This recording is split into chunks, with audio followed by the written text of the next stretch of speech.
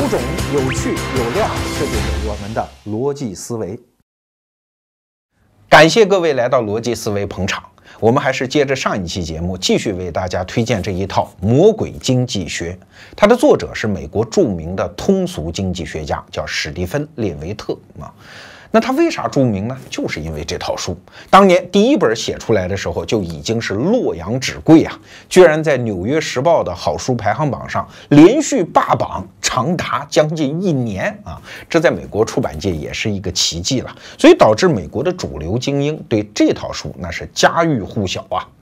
现在这一套书四本终于全部写完，那非常感谢中信出版社对逻辑思维的信任啊！我为我们的用户争取到了三个月独家的首发权，也就是说，暂时中文市场上除了逻辑思维的用户，谁也看不到啊！傲娇啊！那为什么我们这么重视这套书？因为啊，经济学思维非常奇葩，而且是对我们这一代人的生存非常之重要。你别看这四本书啊，好像是煌煌巨著，里面没有一个数学公式，它讲的都是我们老百姓平时司空见惯的那些现象，只不过是用经济学的方法去分析它啊。里面有一些话题，我现在看着也直摇头。比如说有一个章节就是专门给抢劫犯出主意，说一周七天，你选择哪一天去抢银行，成功率最高呢？这样的话题他居然都写。哎，这套书的最大的特点，它不是讲经济问题，它是运用经济学的思维方法，用我的话说叫聪明人的思维方法去分析你看到的一切社会问题。所以这套书我们上一集讲啊，在美国学界号称叫经济学帝国主义，因为你欺负其他学科嘛，老是把腿伸到别人的地盘上去嘛啊。但是我们感兴趣的在于，哎，为什么经济学一旦用它的思维方法来思考这些问题，得出来的结论永远是让人毁三观、跌眼镜呢？老师和我们通过日常的常识得出来的那些结论，通过直觉做出来的判断，它不一样呢？哎，这是真正有意思的地方。上一期节目其实我们也分析了啊，是因为整个人类社会的协作体越滚越大。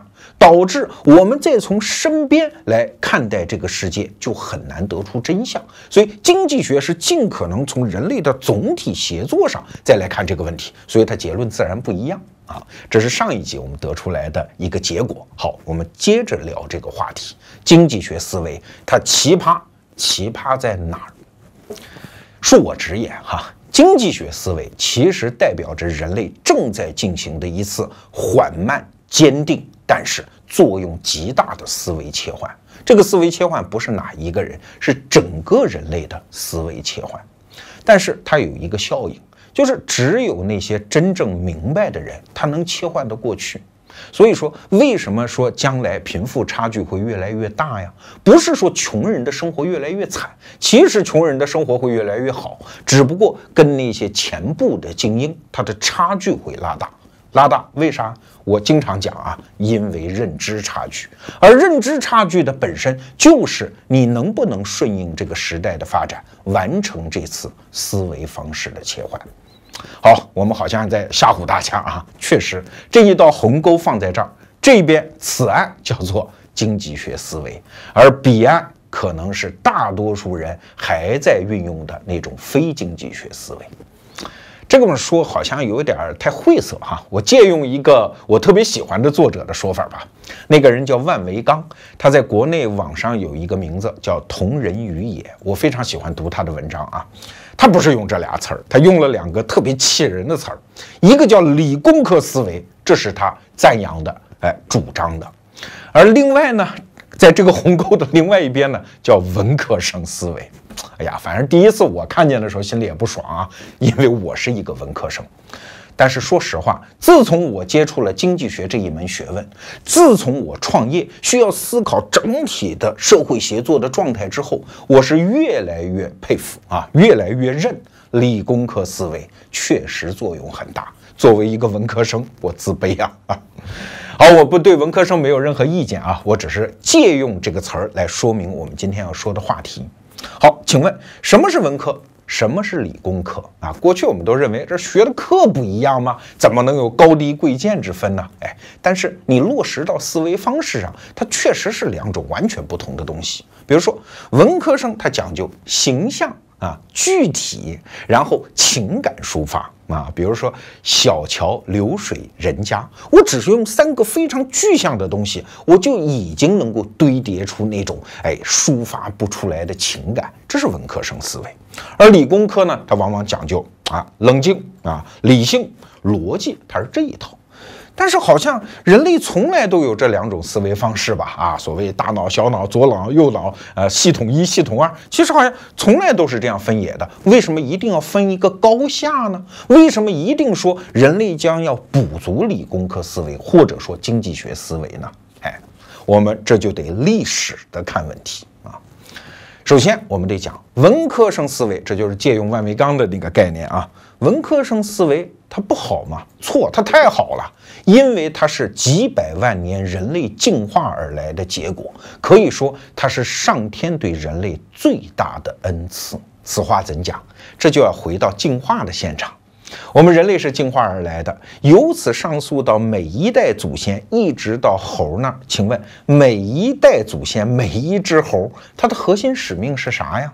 不是理解世界和宇宙的真相，那跟它没有一毛钱关系。它的核心使命只有一条，就是活下来，而且把基因给传下来。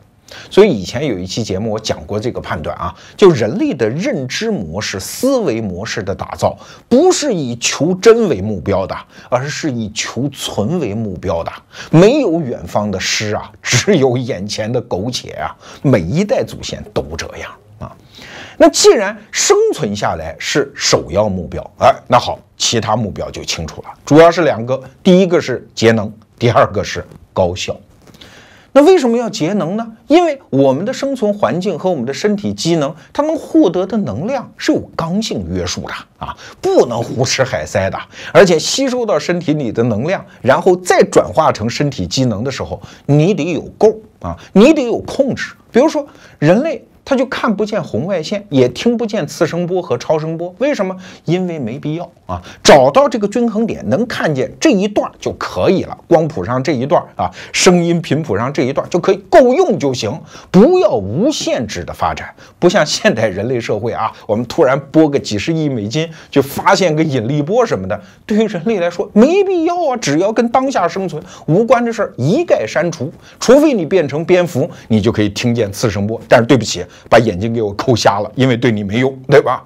所以一切都是本着叫成本节约的刚性原则来设计。而另外一头呢，就是你得快呀，因为生存这件事儿啊，这儿有只兔子，你不抓，你不抓就跑了；这儿有条蛇，你不躲，你不躲你就死了。所有不符合这个原则的人，他的基因都传不下来啊。我们的祖先，我们活到今天之所以基因能下来，就是因为他反应快。那好，什么东西反应快啊？难道理性逻辑这些东西反应快吗？啊，我问你，七十三乘以七十八等于多少？你得想半天，恨不得还得拿张纸出来算一算啊。所以理性逻辑是一个很慢的系统。那对于人类的元祖来说，他优先打造的思维模式，当然就是感性啊、具体呀、情绪啊，来帮助他做出快速的反应。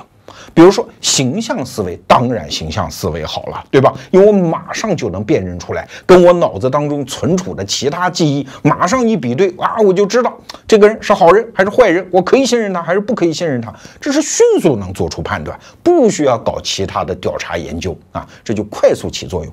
情绪也是一样啊，遇到很多东西，我是恐惧啊，马上就逃跑啊，还是愤怒啊，我去攻击，去获得竞争的胜利等等，都是调动我们的身体快。快速做出反应啊！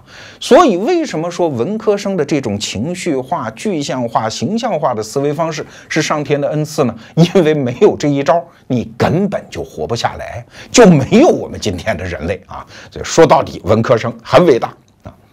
但是话又说回来，现代社会来得太快啊，我们这套东西还来不及转过来，于是有些刚性约束可就把我们限死在当地。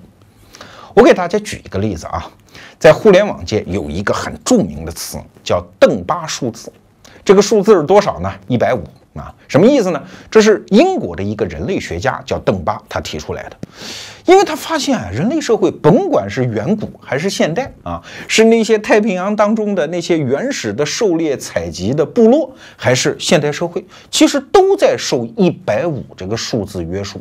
这数字是什么意思？就是一个人他熟悉能够交往的范围就是一百五十人。啊，很难突破这个上限啊。比如说，他研究英国人不是喜欢在有电邮之前啊寄贺卡，基本上即使疯狂寄贺卡、收贺卡，他基本上就是一百五十个人跟你打交道。再比如说，西方军队最基础的那个组织叫连，一个连，一个连什么意思？就是互相之前都认识嘛啊，一个连就是一百五十人呢，对吧？再比如说，南太平洋上小岛上那些狩猎采集民族，哎，发展到最大也就一百五十人呐。其实这个规律不仅是在传统社会啊，在互联网上也一样。很多人说互联网就是扩大了连接数，没错。可是连接数扩大到一百五十人以上，你的互动方式就不一样啊。比如说罗胖做这个节目，可能有一百万人看，但是我们没法互动啊。我真正能互动，仍然受制于邓巴数字一百五十人。为啥？因为在一百五十人的关系当中，我符合我节能和高效这两个生存任务嘛？啊，多一个人，我得多理解多少事儿啊？你长什么样？你生日哪天？你老婆什么样？跟我认识的另外一个朋友有什么瓜葛？多一个人，增加我们大脑带宽的这个负担，我们节省啊，我们这个能量付出不起啊，所以它就变成了我们人类的一个刚性约束。跟我们不可能在两秒之内跑完一百米，我们人类不可能在水下呼吸，是一个道理啊。就是除非再过多少年，我们进化出别的能力，一百五十人的邓巴数字会把我们死死的限制在这儿。好，在现代社会，我们的协作体远远超越了一百五十人呐。怎么办？哎，怎么办？一会儿再说。但至少我们现在的办法是用一百五十人之内的那个行为方式、认知模式和思考方式来对待这个世界，所以就会出现一些特别有趣的反差。随便给大家举个例子啊，比如说美国总统选举，这是万维刚先生写的一篇文章里说的。哎，我觉得真是特别有道理。比如说老布什当年啊，他要打第一次海湾战争，当时的起因呢，就是伊拉克的萨达姆突然出兵把科威特给灭了啊。那老布什跟国民讲话说：“说这不行啊，说中东那是美国的石油的来源啊，这会影响美国的石油的稳定啊，对我们世界警察的这个位置也是一个挑战呢。我们是维护世界秩序的，他这不胡来吗？所以我们要出兵。”讲这一大套之后，选民说：“说他妈什么呢？石油价格跟我有什么关系？美国的老大地位跟我们有什么关系？”哎，后来老布什他的很多幕僚就给他出主意啊，说这故事不能这么说，得换一说法。哎，再出来跟老百姓讲。说伊拉克是个流氓啊，流氓欺负人家小弟，科威特多可怜啊，人家没招他，没惹他。我们美国是谁？我们是有英雄的，对吧？我们有超人，我们有美国队长，我们能够容忍一个流氓欺负一个良善的少年吗？不行，美国必须拔刀相助，我们必须去当这个英雄。哇，大家鼓掌，哇，好，出兵。你看。大家无法理解美国世界石油安全、美国的全球秩序这些大的宏观的概念，因为太陌生。但是大家可以按照身边人理解，嗯，隔壁有一个流氓欺负一个弱小少年，这事我不能忍，我很气愤。这事儿大家理解。所以你看，我们仍然是用邓巴数字控制下的我们一百五十人之内的那种交往方式，那种情绪反应方式。来面对整个国家大事的处理啊，政治家后来就明白了，就用这一套啊。比如说小布什，就是老布什的儿子啊，后来上台竞选的时候，其实啊第一届那干得一塌糊涂，经济在下滑。克林顿那时候中呃就是美国经济是蒸蒸日上啊，小布什干的不行，但是不行呢，他也有招儿啊。他的竞选顾问就告诉他一个词儿叫恐惧，所以他第二次竞选的时候就拼命跟老百姓讲。那个萨达姆啊，他就一定有化学武器，他就一定支持恐怖分子，一定要把他干掉，否则美国人的安全根本无法保障。哎，这个故事出来之后，大家哎感受到恐惧，于是又支持小布什。再比如说，小布什竞选的时候还有一招，一般的政治人物啊，都把自己说的高大上。他是第一次不这么说的。哎呀，他说我年轻的时候啊没出息，成绩也不好，还酗酒，有时候还抽点大麻。我其实是一问题少年啊。后来我是慢慢的屌丝逆袭啊，我才变成今天这样一个道德高尚、能力出众的我啊。选民高兴，大家爱听这个故事啊，就是屌丝逆袭的故事吗？对吧？后来奥巴马在竞选的时候也是用了这一招。当年我多惨呐！我在芝加哥当老师的时候，我过的是多么的困窘啊！后来我是怎么通过自己的努力上来了？所以我说这些例子，其实都是告诉大家一点。我们在做，即使是那样大的框架的选择的时候，我们其实是按照一个村儿里的思维模式来进行的。而那些政治人物一旦洞穿了我们这种心理，他就会拿这种小故事来忽悠吗？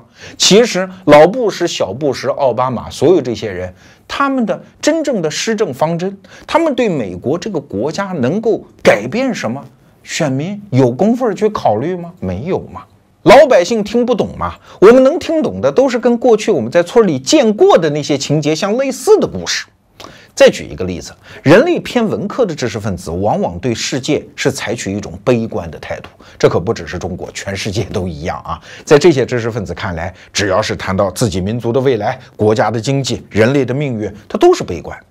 但有的时候，这种悲观真的不符合事实啊。比如说，过去三十多年，中国经济那叫一飞冲天，这是铁的事实吧？全世界都羡慕啊。可是你回溯到这三十多年的任意一个阶段，你会发现，最有市场的舆论就是看衰这个国家。像罗胖这么傻，动不动说中国有前途的人是很少很少的。直到今天，在演讲市场上标价最高的那批所谓的经济学家，都是一路唱衰中国的。那你把他的言论总体上串出来看，你讲的就不是事实啊啊！但是不要紧呐，因为这种文科生思维，它非常契合我们的情感需求。因为在进化过程当中，我们总是刻意的培养自己对于那个危机的敏感度，哪怕危机没发生，反正我也没什么损失。但是它万一发生了呢，我得赶紧跑啊！这是我们的天性啊。所以文科生思维和这种天性是契合的，虽然它跟真实、跟事实没有什么关系啊。好了。文科生思维历史贡献非常大，我们得承认。但是下面不好听的话就来了：人类进入现代社会，这才一两百年的时间啊，这就导致我们的思维模式不得不发生切换，要走向原来的反面。说白了，要发生一次矫枉过正，或者是大量的补足原来没有的东西。那补的这个东西，在万维钢先生看来就叫理工科思维，在我们今天的话语环境当中就叫经济学思维。这两种思维方式一对比，那原来我们习惯的那种文科化、形象化、情感化的思维方式，它的缺陷在哪儿？最显而易见的一点哈，就是文科生思维缺乏一种用数字来描述这个世界真相的能力。啊，举个例子，美国人曾经做过一个实验，是慈善方面的。给一部分家庭呢寄去一封信，告诉他非洲哪个国家几百万儿童现在缺医少药啊，马上快要冻饿而死了，交钱呗啊！那给另外一部分家庭呢寄去的信，告诉他非洲有一个小女孩，她生活在哪个国家、哪个城市、哪个村庄，她的父母都很爱她，她长得很美丽，非常上进好学，但是现在她缺吃少穿，马上就要死了，您交钱呗。那你想都想得到啊，肯定是后一封信获得的捐款数额比较高，而且高到一倍啊，所以说明啊，我们仍然容易被一些具体的东西打动，我们不容易被数字打动。但是这一来就导致世界的很多真相在我们眼里是扭曲的，我们找不到真实原因啊。举个例子。伦敦奥运会的时候啊，当时爆出来一个新闻，就是奥组委呢在整个奥运村发了十五万只避孕套。啊，那里面有多少运动员呢？一万人。发现五天就用完了啊，所以很多媒体就报道说，奥运村里面啊正在上演一种性交大会啊，他们天天不干别的，就干那事儿啊。哎，后来我看一个新闻媒体就请了三位文科的知识分子来分析这个现象，这三位啊都是比较善意啊，三个人讲的原因不一样。第一位说呢啊。说这肯定是很多卖淫的妓女来了，我就支持卖淫合法化，这没有什么嘛，对吧？这很正常的一个现象嘛。那第二位就说呢，哎呀，这个也可以理解啦，世界顶级运动员他们的基因比较好，基因比较好的人呢，就倾向于把基因要传下去，那传递基因的这个动作就要多嘛。第三位文科生说呢，哎，这个运动大赛在即啊，心情比较紧张，通过这个途径发泄一下，这也可以理解。可是没有一个人谈到数字，虽然数字就摊在桌上，你稍微算一算，哎，十五万只避孕套，哎，一万人五天用光，怎么可能嘛？所以唯一合理的解释，后来也被验证的，就是运动员一看，哟，发这个还带奥组委的标志，拿走当纪念品了，所以这十五万只是被大家拿走的，不是被用掉的。所以你看，文科生他抱有善意，他即使没有上说强烈的情感色彩，他仍然没有办法了解世界的真相啊！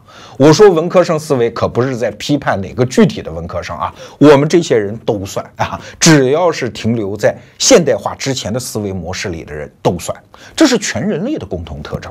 再比如说啊，很多人老觉得坐飞机不安全。其实数字早就摆在面前，坐飞机是交通工具当中最安全的。飞机失事的概率是多少啊？一年啊，按年算，一年是四百七十万分之一，就是坐飞机失事。那被雷劈死是多少呢？是一百九十万分之一。说白了，坐飞机死比被雷劈死那个概率还要低呀啊！所以有一些航空专家就说说坐飞机确实很危险，但是最危险的地方在哪儿？是你坐汽车去机场的路上，比坐飞机给被弄死那个几率要高得多啊！但是没有人信呢，很多人还是觉得坐飞机很危险啊，因为飞机失事的报道我们经常能看见，而一辆汽车撞死人或者哪个高速公路上发生连环惨案，我们经常是不知道的呀。所以这种信息传递的特征，以及我们培养出来的那种思维认知习惯，就导致我们扭曲了这个世界。你看九幺幺之后，大家都觉得就是美国人呐，觉得坐飞机不安全，所以大量的开车。结果呢，在短短的一段时间内，美国全境发生交通事故的概率、死人的概率大幅度的上升啊！所以啊，不能用数字来理解世界，这也是文科思维的一个悲哀。哎，但是文科思维真正的缺陷是另外一个东西。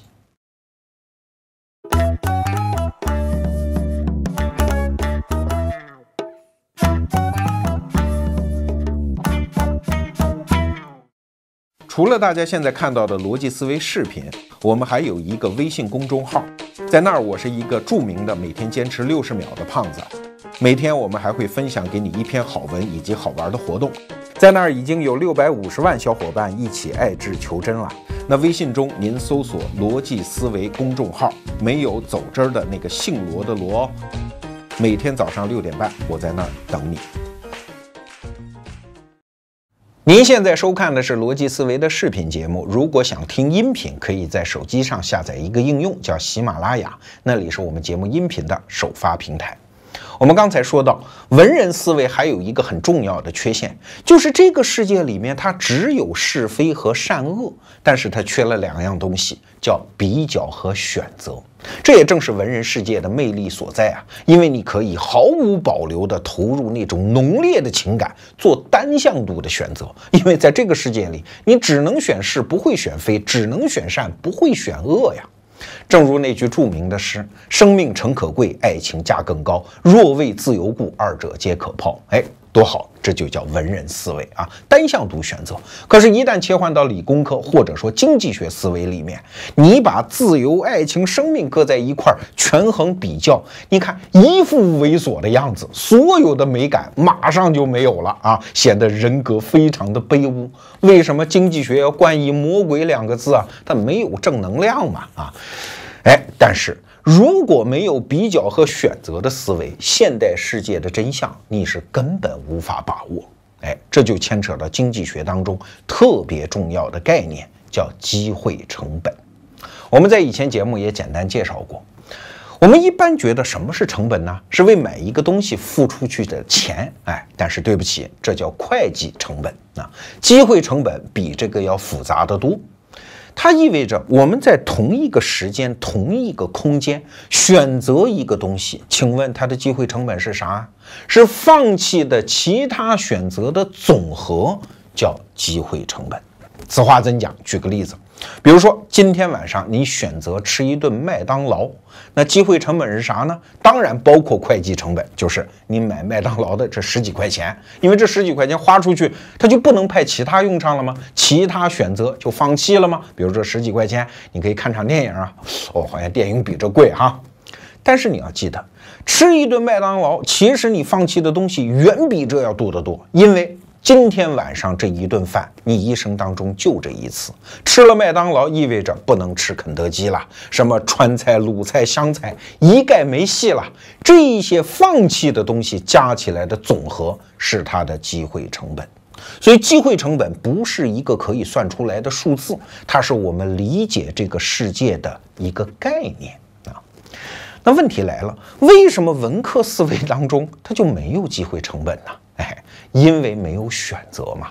我们刚才讲，文科思维是在进化过程当中形成的。那进化的远期、早期哪有什么选择？一个原始人看见一只兔子，抓不抓？不抓，马上下一顿饭就没有，就可能饿死啊。所以只能抓。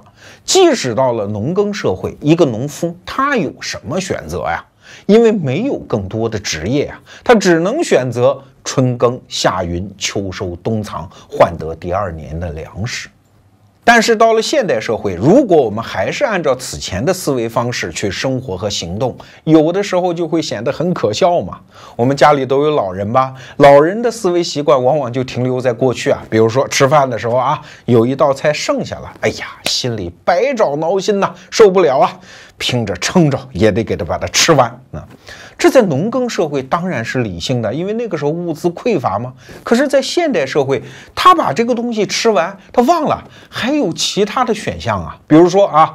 健康的生活啊，你吃完也许对胃就不好哦，你其他的选择就放弃了哟。当然不说这么严重了，说个最简单的，你中午多撑了两口，晚饭你就没法享受了吗？那个食物的本身的芳香的味道你就没法体察了吗？因为这个时候你啥胃口都没有，所以你放弃了另外一个也许更美好的东西啊。可是家里的老人，他生活在过去的思维习惯当中，他没有看到这个选择。当然，越是在现代社会的年轻人，机会成本这个事儿就变得越来越重要。为什么？因为选择几乎是无穷多的。我给大家举一个例子啊，比如说一个年轻人现在下班了，一个哥们儿给他打电话说晚上吃饭喝酒啊，还有一个姐们儿给他打电话说晚上一起看电影啊。那他请问？面对多少选择，表面上是两个，对吧？其实比这要多得多啊！你既可以选择留下来加班啊，讨老板欢心呢，也可以选择上街去撩妹，去街头搭讪呢。你也可以选择回家读书，或者回家打游戏，或者去拜访一个你非常尊重的人呐。或者你上图书馆去听门课等等，多了去了。所以不管你是吃饭还是喝酒还是看电影，实际上你付出来的机会成本是高的吓人的。而且我说到这儿，你明白一点什么没有？就是你的认知水平越高，你看到的世界的联络和协作越多，其实你的机会成本就越高。啊，比如说罗胖啊，我现在敢出去度个假吗？去海南，也许哪天我就去了。但是我心里是知道的，我放弃的机会成本是吓人的，因为也许我在北京待着，我谈成一笔大买卖呢，这个公司的估值再翻个好几倍呢，也未可知啊。我只有在实在累得不行的时候，我说算了，去他妈的啊，多大的成本，我老子现在要放下去度假了。但是我心里是清楚的，这就是为什么现在很多创业公司，尤其是互联网创业公司，因为它变形的可能性大，它面对的其他选择多的时候，它就会工作的越加辛苦。越是这样的公司，往往到夜里两三点钟，甚至是通宵达旦的都在工作，不是他们愿意工作，而是机会成本实在是太高。所以说到这儿，你明白了，机会成本不是一个具体的数字，而是一个理解世界的方式啊。本质上就是要认识到任何一个选择背后要付出的代价。所以，机会成本这个词儿，你如果忘了的话，就记住经济学最著名的那句话，叫“天下没有免费的午餐”。这句话的意思不是说买什么都得掏钱，而是说所有的选择必有代价，从来没有什么一定好的选择。好，一旦我们建立了机会成本这个概念，再来看文人思维，它的缺陷就很明显嘛。因为那是一个由是非善恶构成的世界，有一些目标是值得不管不顾的去追求啊。所谓杀身成仁，舍身取义呀，那很符合我们的道德感啊，很正能量。但是他忘掉了代价呀。举个例子说，防治空气污染，这是不是一件好事儿啊？当然，谁愿意呼吸脏空气呀？但是如果我们非得要追逐像北京的空气质量要回到三十多年前，那代价是啥呢？代价就是经济，包括周边河北、山东的经济都要回到三十多年前，新鲜空气有的呼吸，饭就没得吃了。请问你怎么选呢？当然，有一些环保主义者会说：“哎，我并不是说经济要毁掉啊，我是说那些排污的企业应该本着良心，你们应该上那个防治污染的设备嘛。哎，那不要钱的。”那笔成本加上之后，这些企业就不赚钱啊！不赚钱，谁还办企业呢？所以经济还是得回到三十多年前啊！你还是得在挨饿和新鲜空气之间选啊！啊，那一选择，我们就要找到一个均衡点啊，那就没有什么绝对的对和错了。就像很多环保主义者。指责中国煤炭用的太多，是啊，可它是工业社会在现状下的一个最佳选择。中国用这么多的煤炭，你别以为从来都是用煤炭的，以前是用木柴的，用木柴还不如煤炭干净。你看，煤炭的那个燃烧值是同等质量的木柴的大概一倍。而且煤炭非常容易保存呢，它不会像木头一样烂掉啊啊！它你只要不用，它就一直是那个状态，而且非常方便于运输。就是是从清洁上来讲，它也比木柴清洁的多啊。它是已经是这个状态下最优的选择。那你说嫌？煤炭不好，那可以啊，推动经济的发展，推动技术的迭代，让我们拥有更多选择。那个时候再说。你在现状下一味的批评煤炭，没有任何意义。就像还有人说啊，反对使用化肥，因为化肥会造成土壤的板结，这是不是事实？事实是。但是，一旦禁用化肥，代价是什么呢？你看啊，化肥的使用也就这一百多年的事儿啊。原来在前现代化时代，人类能够养活全球多少人口啊？了不起八亿。现在多少？七十亿人口，哎。都是靠化肥增产出粮食，然后才能养得出来啊！你要是禁用化肥，那好了，先人口损失到八亿啊，那你说诞生多少人间惨剧啊？而且那八亿人口，那生活质量跟今天可就没得比。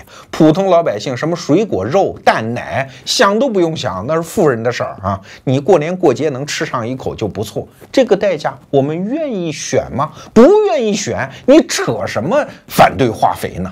举个更纠结的例子吧，发生在美国。话说，一九六二年的时候，美国有一位著名的女作家叫卡逊，她写了一本书叫《寂静的春天》。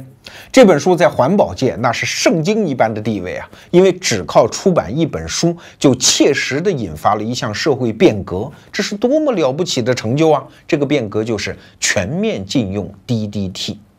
DDT 就是一种高效的杀虫剂啊，那对农业当然是好事儿，但是对环境就不一定了，因为它杀灭了大量的昆虫，甚至是鸟类。为啥叫寂静的春天呢？就是在春天的田野和村庄里，再也听不见虫鸣鸟叫。所以你看这个题目起的就很煽情啊。此书一旦出版之后，在美国就引起轩然大波，甚至引发了很多人对于环境崩溃的恐慌。最后呢，美国政府不得已只好宣布全。全面禁用 DDT，后来这股风潮就刮到全世界啊，都禁用了 DDT，包括我们中国。那它的代价是什么呢？哎，我们还是要问这个问题啊。根据机会成本的理论，美国是不付什么代价，因为它的医疗保健各方面水平都跟得上。可是非洲大陆惨了，你在那儿也禁用 DDT，DDT 对于疟疾这种疾病是有抑制作用的。所以全面禁用之后，仅在南非一次疟疾大爆发就夺走了十万人命。在魔鬼经济学里，我看到一个数字啊，我几乎都不敢相信，就是在全面禁用 DDT 的二十年里面，光非洲大陆因此而死亡的人两千万，一年一百万。有人算过一笔账，什么概念？就是每天有七架七四七的飞机，上面装满了非洲儿童逝世，每天失事七架，一共二十年，这叫人间惨剧，好不好？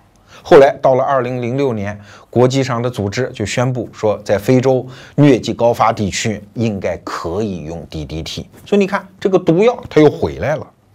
所以这个世界上真的有绝对好的东西，绝对坏的东西吗？不是啊，你都是要看到每一个选择背后的代价，然后用精密的计算，用理性的权衡，最后找到一个均衡点。没有什么东西是值得不顾代价的去追求的。再举一个我们身边的例子，中国二三四线城市都有新建小区，很多老百姓搬进去之后，第一件事就是团结起来，要求把移动基站给赶走。移动基站嘛，就是我们手机信号的来源。很多老百姓害怕呀，觉得这玩意儿是电信辐射呀，对健康一定是摧毁性的影响啊，而且常年在我这儿辐射，我还受得了？而这些基站呢，往往又属于那些不讨人喜欢的大国企，什么中移动、中联通、中电信啊。他们一旦跟老百姓解释，老百姓就说：“哎，你们这些黑心企业，为了挣我们的钱，喝我们的血呀，完全不顾我们的死活呀！来，团结起来跟他斗。”这些企业是为挣钱嘛？谁跟你老百姓斗？算你狠，我们搬走还不行吗？哎，你看这是好事吧？可是有没有代价呀？这是我们今天反复要问的一个问题。任何选择都有代价。在这个场景里很简单喽，就是手机没信号嘛。啊，二零一五年我就看到一则新闻，一个老太太刚刚喜迁新居，马上心肌梗塞就爆发，儿女急得要死，但手机没信号啊，只好走出小区门一公里才看得到手机信号，打电话叫救护车，老太太一条命差点丢掉了，这就叫代价嘛。而且啊，这些老百姓啊，他们不相信数字。我有一些在电信部门工作的朋友跟我讲，跟老百姓是家家户户的解释，没人信呐，那些数字都不信。其实那个辐射有多大，还不如家里的 WiFi 路由器的辐射大。而且老百姓不明白一个道理啊，就是。那个移动基站的信号弱，你手机搜索这个信号的那个功率就变强。其实辐射是一样的，就算辐射损害健康，也不是因为移动基站单方面的原因。但是老百姓不管这个事儿啊，所以你看这个例子就充分暴露了所谓我们刚才批判的文科生思维的两大缺陷：第一，我们不相信数据，不相信专家；第二，我们只相信有一个单向的好事儿。不相信背后的选择和代价，所以啊，我们口口声声批判的文科生思维，虽然它符合我们的情感需求，但是对不起，它真的堵上了我们了解真实世界的眼睛。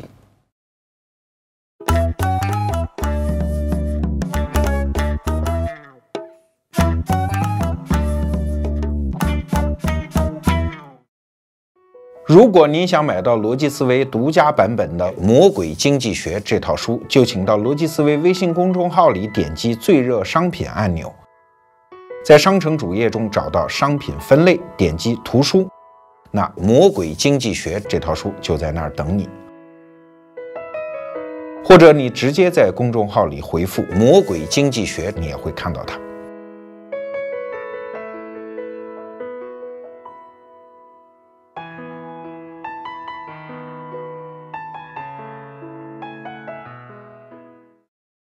刚才我们把文科生思维痛批了一番，估计得罪了不少人呐。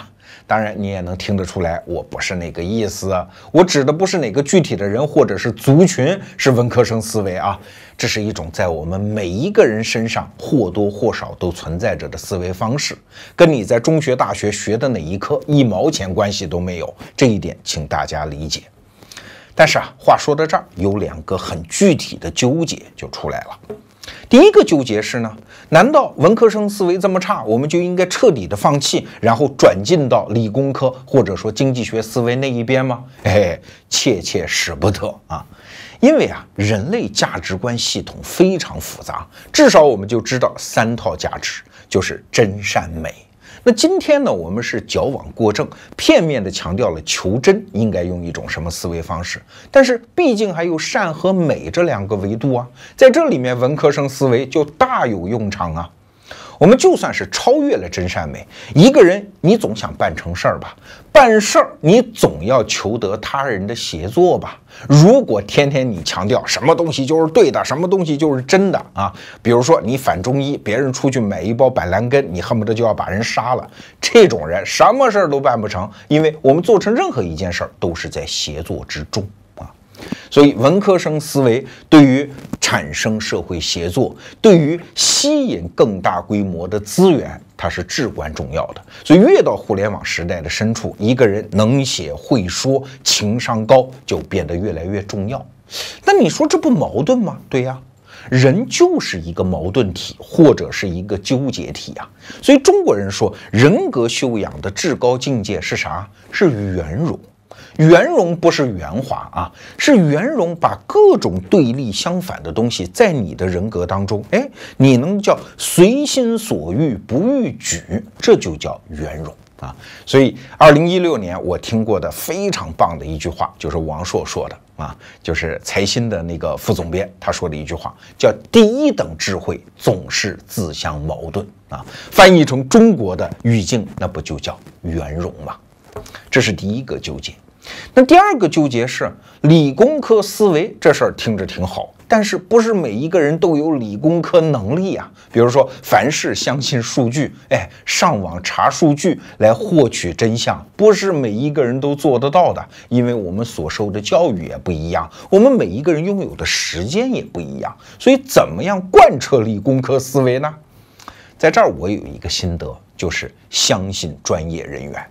这个话题我们以前也讲过啊，因为这是人类社会构成一个大协作体的基本机制。这个机制叫啥呀？就是封装复杂，接口简单。哈，这话怎么讲？就是人类社会的大协作，它不是乌泱乌泱七十亿人全部搁在一块儿，然后你帮我，我帮你，它不是这样的，是形成一个一个的模块，然后再组装在一起。模块内部会极其复杂，这就叫封装复杂。但是模块和模块之间那个接口会变得非常之简单。你看我们那个电脑哈，里面那个元器件，那个科学原理多复杂呀！但是从总体上来讲，它无非就是分成什么主板呐、硬盘呐、内存呐几个大的模块嘛啊，然后社会分工也是围绕这些模块进行的。有一次，何菜头就跟我讲，因为原来他在航空公司嘛，他说啥叫修飞机啊？修飞机不是用螺丝刀来修每一个器件，而是看得出来，用机器一测量，说这一个模块坏了，整体换掉，这叫修飞机啊。那既然整个现代社会是这么拼装而成的，我们唯一的生存策略是啥？就是相信专家嘛。当然，你可能会反驳说，中国的专家不能信呐，那都是砖头的砖呐，他们都是忽悠你钱的。哎，你带有这种不信任，在现代社会一天都活不下去。比如说，你到医院去开刀，大夫进来，你说什么狗屁主任医师，我不信，把你的大学毕业证拿出来，我查一查。哎，大学毕业证是啥呀？那也是医学院的专家对他的信任背书啊。你本质上不还是在信专家吗？现代社会的本质就是一个协作和信任背书的网络，我们每一个人都身在其中，脱不开的呀。当然，你可能会不服，万一专家错了呢？不是辜负我的信任吗？那没有办法啊。就像我们今天反反复复强调的，任何选择必有代价，从来没有绝对的好和绝对的是。就像前不久有一个朋友问我说：“罗胖，你号称在搞知识服务，可你万一说错了知识呢？这不就误人子弟吗？请问你怎么能保证在节目里说的一个字儿都不错？”哎呀，我回去想了想哈，我还真没办法保证。我能保证的是，本着良心，每一个资料我尽可能核实，拿不准的观点找高水平的朋友切磋一下。但是我毕竟是个人呢，是人就会犯错啊，口误总还是有的吧。再加上水平有限，我咋能保证不犯错呢？那错了咋办？你听了我的节目，我的建议就是认了啊，这不是在耍赖，是因为我也以这种方式面对我自己的世界。比如说前面我讲的万维钢先生《同人于野》，我非常喜欢他的文章，出一篇我看一篇，因为看得出来他的文章当中的资料数字都是有来历的，是考证过的。但是他万一错了呢？哪个数字就是不对，哪个观点就是误信传言，有可能的，怎么办？保持对万先生的信任，与此同时向未来敞开我的开放性。这个知识如果错了，在未来总有机会被纠正。就像国家出版物啊，它还允许有万分之一的错误，那错了怎么办？难道收回一个字错了就整个销毁吗？不会的，再版的时候把它修订过来就完了。所以求知的过程是一个极其漫长的动态和开放的过程。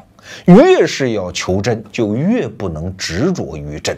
所以啊，在现代社会，我们怎么样做一个更好的自己，完成自身的认知升级，做一个更聪明的人，一个站在高处的人？在经济学的智慧当中，我得到的启发，我总结成了十六个字，叫承认代价，比较权衡，不问是非，只争高下。